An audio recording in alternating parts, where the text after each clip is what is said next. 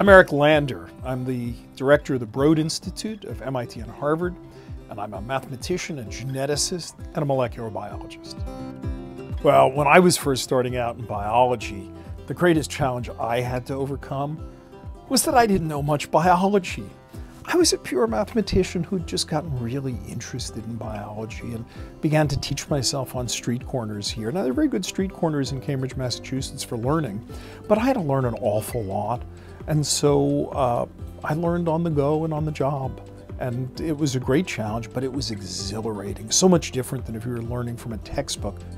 I love in life is people. I love making common cause with people. The experience of being part of a team and making a difference in the world and somebody's life, that's what I live for. And it's a real privilege to be able to do that in my day job and outside my day job.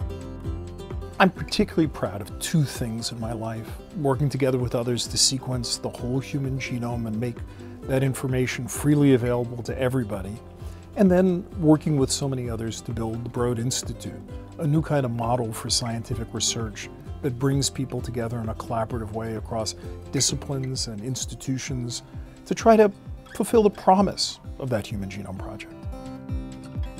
In my free time, I love to spend it with my family, my wife, my three fantastic kids, and our golden retriever. It's the most important thing in, in my entire life to have my family. Is there anything I'd have done differently? Absolutely not.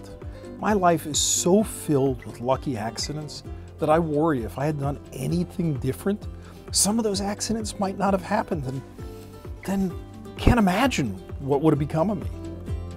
It's a tremendous honor to get an honorary doctorate from Ben Gurion University. It's a pioneer in science, in genetics. It just resonates as a very, very special thing for me. Although I have traveled all over Israel, I've never had a chance to spend time at BGU, so this is a special treat to get to know this university.